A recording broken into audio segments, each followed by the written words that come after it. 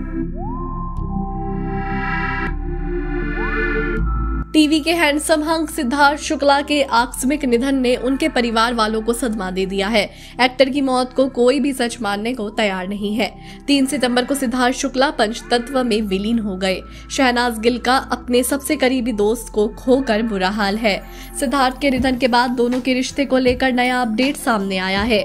खबरें हैं कि सिरनाज शादी करने वाले थे। सोशल मीडिया पर सिरनाज के फ़ैन पेज पर शहनाज गिल की करीबी दोस्त के हवाले से इस बारे में जानकारी जानकारी दी गई है। वही टाइम्स ऑफ़ इंडिया ने अपनी रिपोर्ट में बताया है कि सिड नाज इस साल दिसंबर में शादी करने वाले थे। दोनों की सगाई पहले ही हो चुकी थी। वो अब वेडिंग डे की तैयारी कर रहे थे। रिपोर्ट के मुताबिक सिडनाज ने शादी के बारे में अपनी फैमिली को बताया था, जो कि वेडिंग डे की तैयारी में बिज़ी थे। मुंबई के एक होटल के साथ रूम बैंकवेट और दूसरी सर्विसेज़ को लेकर उनकी बातचीत भी चल रही थी। सिडनाज की शादी तीन दिनों का इवेंट होने वाली थी। सिद्धार्थ शहनाज के अलावा उनके परिवार और दोस्तों ने इस बात को काफ़ी सीक्रेट रखा था। इन सभी तैयारियों के बीच 2 सितंबर को एक बुरी खबर सामने आई कि सिद्धार्थ का निधन हो गया है।